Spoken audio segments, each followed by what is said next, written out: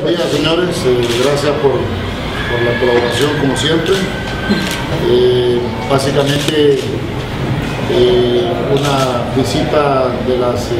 normales que tenemos con los jugadores y aprovechando un poco las circunstancias de, de, las, semifinales. Hablar un poco del partido de, del que viene y hablar un poco de lo que pasó acá en Tegucigalpa el domingo y al mismo Victoria. Así que ese partido del, domingo fue un partido donde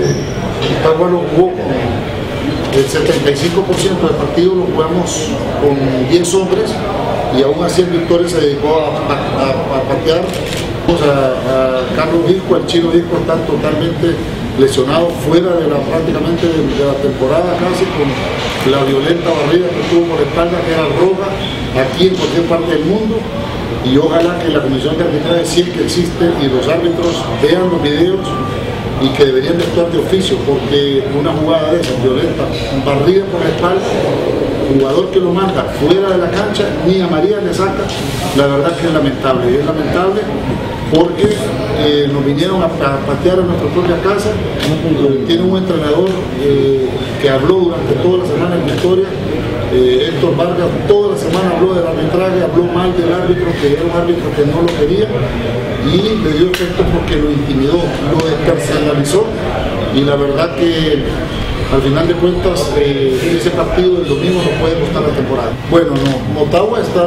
no, está en desventaja. El hecho que tengamos jugadores lesionados, que estamos, eh, el cuerpo técnico médico de Motagua está haciendo lo, lo, lo, imposible por recuperar tal vez alguno de ellos, aparte de la baja de Melvin Valladares también por la roja que tuvo. Estamos hablando de un promedio de cuatro jugadores, sin lugar a dudas, que cambia el accionar del equipo porque ha sido un equipo constante que Motagua ha tenido ha sido alineaciones eh, domingo a domingo que ha estado teniendo. Y al final de cuentas, eh, vamos a empezar 11 contra 11. Lo, la desventaja que tenemos es que si va a Victoria con la misma política a jugar y a patear, a pegar, y los árbitros se van a dedicar solo a llamarle la atención a los jugadores y no va a tarjetear y no va a expulsar gente, ahí sí estamos en desventaja porque si en nuestra propia casa nos vinieron a patear, vinieron a agarrar patadas en nuestro, propio estadio, que es un estadio lleno, la verdad que no sabemos qué puede pasar en serio. Bueno, yo la verdad que desde que se hizo el cambio de entrenador,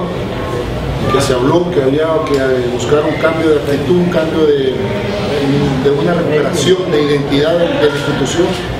eh, me siento más orgulloso que nunca de los jugadores, me siento más orgulloso del plantel, siento que cada día los jugadores están más comprometidos con la institución y sin lugar a dudas, como bien lo dice Donaldo, el hecho de haber jugado con 10 jugadores eh, prácticamente todo el partido eh, y que aún así nunca nos vimos de menos, siempre estuvimos encima del rival, eso es una demostración de que el equipo está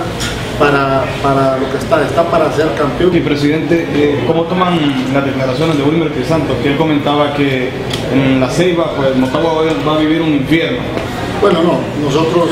no vamos a, a, responder ningún tipo de declaración de ningún jugador, respetamos lo que diga Crisanto, lo que no respeto es eh, su actitud violenta en la cancha. Por, ya, por, algo ya ha tenido dos expulsiones a nivel de selección nacional que le ha costado, a la selección nacional le ha costado partidos que se ha llevado a un país de encuentro. Ya tuvo una expulsión contra México y tuvo una expulsión contra Brasil. Y en ese aspecto que mejor se, dedique a aprovechar su, fortaleza física que tiene, su talento que Dios le ha dado